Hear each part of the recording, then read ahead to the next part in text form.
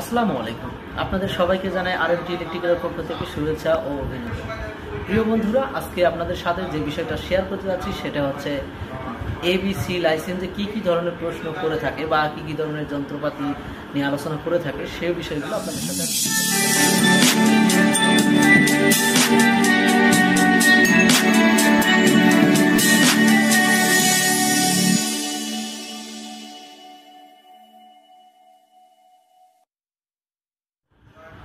প্রথমেই শুরু করা যাক সি লাইসেন্সে কি কি ধরনের প্রশ্ন করে, সেই সি লাইসেন্সের জিনিসগুলো নিয়ে আমি আপনাদের সাথে আলোচনা করব।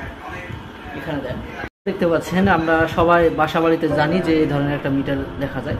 তো এটা কি ধরনের মিটার এটা একটা হচ্ছে সিঙ্গেল ফেস এনার্জি মিটার এখানে হচ্ছে সিঙ্গেল ফেস এনার্জি মিটার এই কানেকশনটা ধরে যে কোথায় ইনপুট কোথায় আউটপুট কোন জায়গায় নিউট্রাল কোন জায়গায় ফেস এইটা বিষয় ধরে।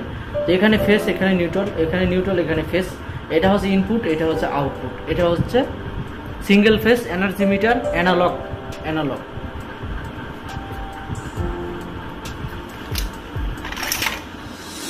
এটা হচ্ছে ফোর গ্যাং সুইচ এগুলো গ্যাং সুইচ এগুলো হচ্ছে প্যারালাল কানেকশন করা হয়েছে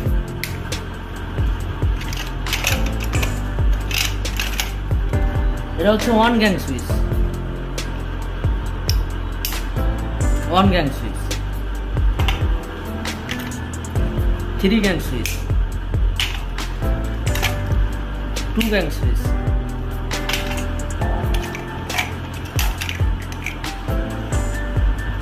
এটা দেখতে পাচ্ছেন? Fuse. Heat cut fuse.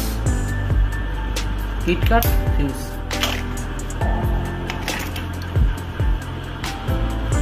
Two way two way switch এই দেখতে পাচ্ছেন যে এই যে লক্ষ্য রেখে কাজটা দেখতে হবে আগে। এটা one way switch one way piano switch আর টু ওয়ে সুইচ টার্মিনালগুলো দেখতে হবে আগে।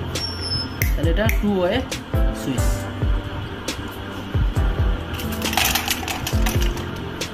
এটা হচ্ছে one way switch one way piano switch one way এখানে একটা এখানে একটা টার্মিনাল চলে গেছে।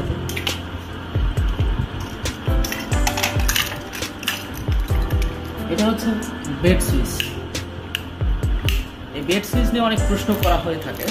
তো এখানে যে একটা ইন্ডিকেটর ল্যাম্প জ্বলে জ্বলে থাকে, এখানে কি নিউট্রাল কানেকশন করা হয় কি না না এখানে কোনো নিউট্রাল কানেকশন করা হয় না। একটা ফেস থেকে আর একটা ফেস লাইন বের হয়ে আমাদের হচ্ছে হোল্ডারের মধ্যে লাগানো থাকে। যখন বাতিটি অফ থাকে, তখন আমাদের এটা জ্বলে। আর যখন অন করা হবে, তখন এটার মধ্যে দিয়ে কারেন্ট প্রবাহিত হলে এটা বাতি অফ হয়ে যায় আর এটা হোল্ডারে বাতিটি জ্বলে ওঠে।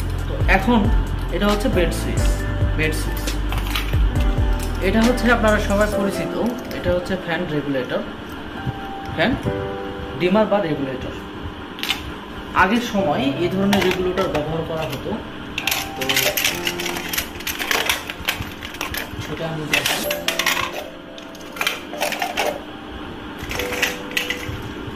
ওই তো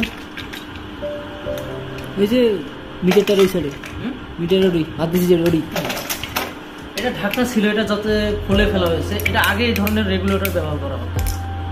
এটা হচ্ছে ফ্যানের রেগুলেটর এটার নাম হচ্ছে প্যান্ডেন্ট হোল্ডার এটা ঝুলন্ত হোল্ডার যেটাকে বলা হয় প্যান্ডেন্ট হোল্ডার এটা হচ্ছে কি টাইপ এটা হচ্ছে প্যাস টাইপ প্যাস টাইপ এটাও প্যান্ডেন্ট হোল্ডার এটা হচ্ছে পিন টাইপ পিন আছে। পিন টাইপ প্যান্ডেন্ট হোল্ডার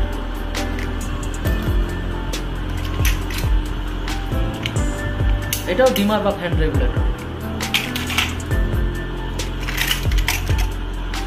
এটা দেখতে পাচ্ছেন, এটা হচ্ছে ইন্ডিকেটর ল্যাম্প।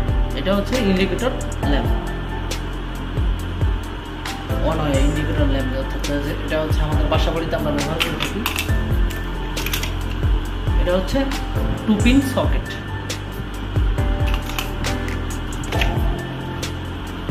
এটা হচ্ছে কম্বাইন সকেট কম্বাইন সকেট এটা হচ্ছে রেগুলেটর ব্রেক করা হয়েছে। এটা হচ্ছে three pin socket and switch switch আছে। এটা হচ্ছে round type three pin socket round type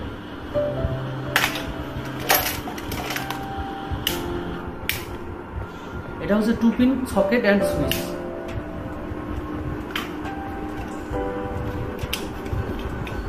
হচ্ছে regulator and regulator and switch, দুটো একসাথে।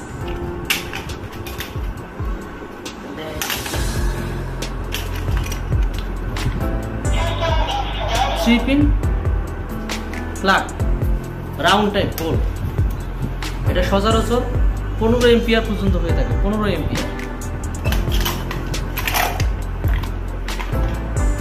three pin socket flat type এটা হচ্ছে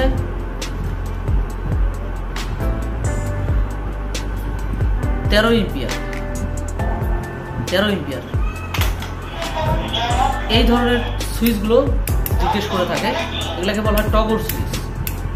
টগর সুইচ। এগুলো সুইচ আগে ব্যবহার করা হয়, হয়তো।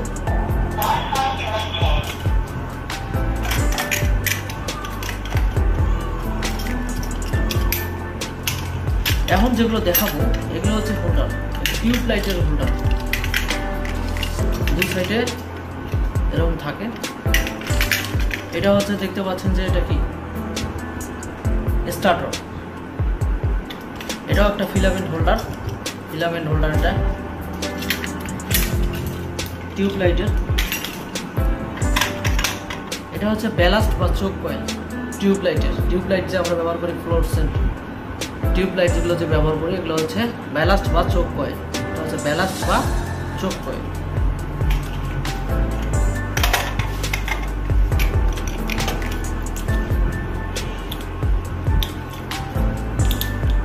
One way piano switch তো আগে দেখাচ্ছি কলিং বেল সুইচ একটা ছিল ইন্ডিকেটর এটা টু ওয়াই সুইচ এই যে এটা একটা এটা টু ওয়াই সুইচ কলিং বেলের একটা সুইচ থাকা এই যে এই যে। একটা চিহ্ন দেওয়া আছে কলিং বেল সুইচ যেটা। এই যে এই চিহ্নটা দেখে বুঝতে হবে যে এটা একটা কলিং বেলের সুইচ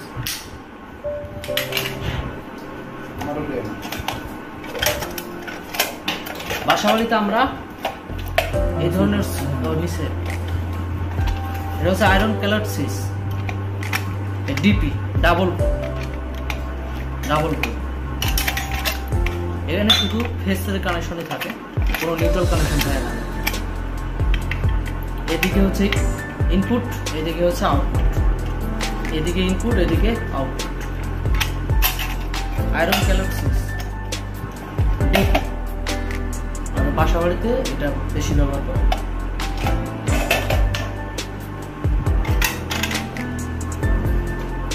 সিলিং রোজ সিলিং রোজ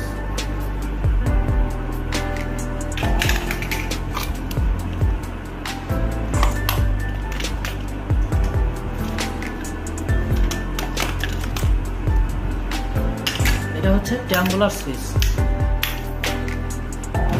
এই সুইচগুলো আগে ব্যবহার করা হতো বেশি। Three pin plug three pin socket round type কত থাকবে না? কত চেঞ্জ হবে এটা হচ্ছে ট্যাম্বুলার সুইচ কিন্তু এটা সিরামিক